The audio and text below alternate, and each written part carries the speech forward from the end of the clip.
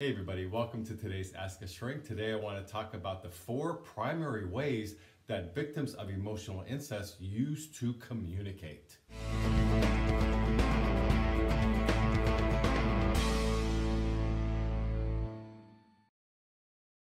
So we all have communication styles and there's lots of books and blogs and blogs and articles and so on about how people communicate. Today I came up with four of my own that apply to victims of emotional incest because we have our own style of communicating once you've gone through a traumatic childhood. There's specific unique traits that apply to victims of emotional incest that you can kind of broaden out a little bit to victims of abuse as well. But eh, with emotional incest, it's more about having your identity ripped from you in a very covert, misunderstood way. So we have our own styles and today I want to address that. If you're not familiar with what emotional incest is overall, when the video's over, remember this link right above. You can come back and click to it. This is where I cover in general terms what emotional incest is and how it impacts the lives of children who grow up with this kind of trauma. So the number one style of communication is that you're a people pleaser and you'll say anything in your power to soothe things over to make other people feel better. That communication style sort of permeates out into everything you do. Whether it's friends, loved ones, coworkers, you're always thinking ahead to preparing yourself to how you can say something that's going to make them feel better because that was your role as a kid. You had to make the perpetrating parent feel better because they took you over as their little mini wife or mini husband. And so that role comes very naturally for you. And without some therapeutic work, it follows you into adulthood. And therefore, your style is to be a people pleaser. And that comes across in the way you communicate. So you never want to argue too much. You never want to rock the boat. You want to do a lot of head nods and agreeable style and sort of go along with things. And you probably don't like conflict too much. So your style is about putting you down, you lower on the totem pole, and putting others up higher on the totem pole because that's how you were trained. So this follows you into relationships, for example. If you settle down with somebody, maybe get married, generally speaking, you'll tolerate a lot that other people may not because you're a victim of emotional incest. The second style I want to point out is being passive aggressive in your communication style sometimes and then blowing up if you get pushed too far. So the passive aggressive part is because you're not good at expressing your authentic self, expressing your true feelings. You weren't able to do that as a child growing up. There's no room for it in your household. So then you began to doubt your feelings and feeling that your feelings are somehow not as important as anybody else's. So now you're an adult and let's say something comes up that you want to weigh in on, when you want to give your opinion, you want to be heard about something, but you're not comfortable doing it because you're not used to it. So sometimes you may be passive aggressive about something because that's the only way you think you can get your opinion heard on a certain topic.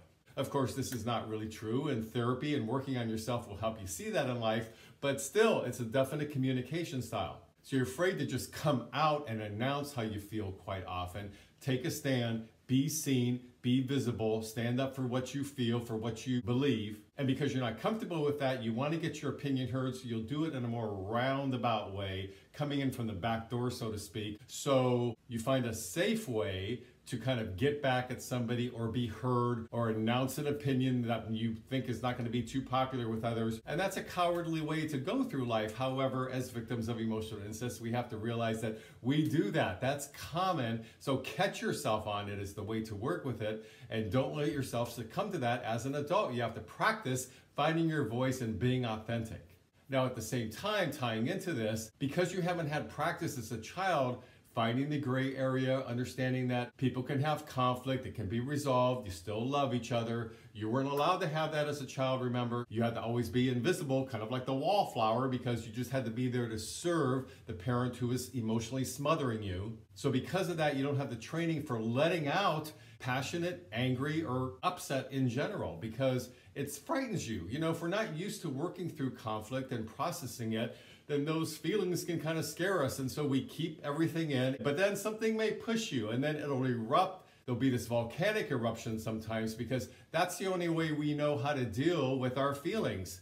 Again, from not having it role modeled for us as young children, that it's okay to be angry. Mom or dad will still love you if you're angry, son or daughter. These messages were not given to us. So we think we're not going to be loved if we disagree with somebody or get upset with somebody.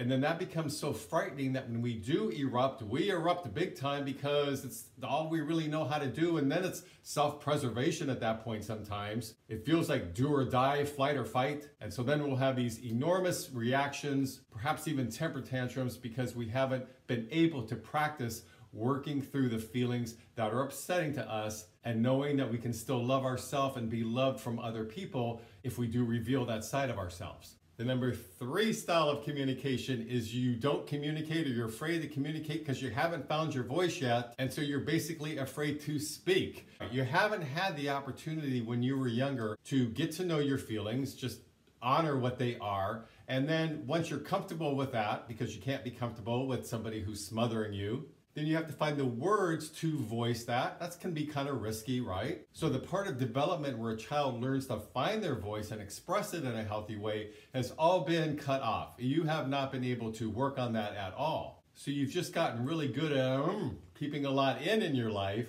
and if you do speak up sometimes or try, you may stammer and stumble and not get your point across real well because you're not used to it. You weren't allowed to do that with the two most primary important people in your life. If you're raised in a two parent family, that would be with your mother and father. So if you haven't had the training with your own mom and dad, you're not going to be able to do that well as an adult unless you've had some therapy. So finding your voice also implies, as I just mentioned, knowing your feelings. So in order to find your voice, you got to know what you're feeling, you have to know what you're all about. You know that saying from the 1960s, find yourself? Well, it's true. That saying does apply to people who don't know their own feelings because they've blocked their feelings for so long. And then in knowing our feelings and understanding ourselves, then we can find our voice, which means we're able to verbalize in a way where we feel good and positive about ourselves and honor ourselves, honor our feelings. And that's how we grow self esteem and self identity. And those are all the things we were denied when we were kids. And the last and fourth style I'll mention is when you do reveal or you do open up to somebody, you reveal everything. Now, the reason this is important is again because it's not the gray area. We haven't had the training to pick and choose what's appropriate, to realize, hmm, this is worth sharing, this is worth keeping in this may be valuable to the conversation or this probably is not so valuable to the conversation. Because there hasn't been a lot of practice with that. When something does happen and, and you're confronted or you're having problems in your relationship or you're you're arguing with a friend or you can't seem to find the middle ground with your coworkers or your neighbors getting on your last nerve. So when these things come and they come to a head, you just reveal everything. You just spill all your guts and let everything out because that's the only survival technique you know in a way, if you want to call it a survival technique.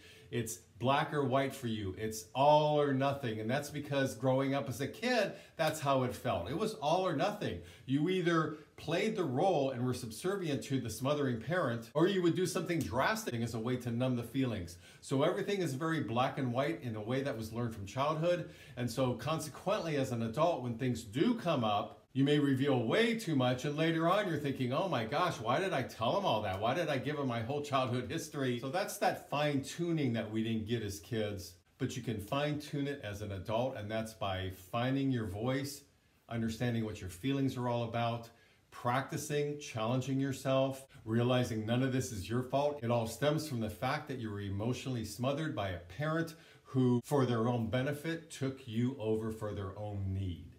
So these are just my own four styles that I came up with on my own. They're not based on any studies at all. I'm just grouping together what's common for a lot of victims of emotional incest, including myself, and how when you're stripped of your identity as a kid growing up, how these communication styles are some of the consequences you have to deal with later in life. So please leave me some comments below. Let me know if these apply to you. Let me know if you'd like to add some too. I'm sure there's many more out there. Please subscribe to my mental health YouTube channel if you like these kind of videos. And until next week, this is Brad Shore signing off from Ask a Shrink.